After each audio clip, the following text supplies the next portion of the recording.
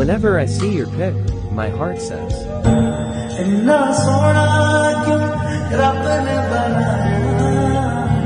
Oh.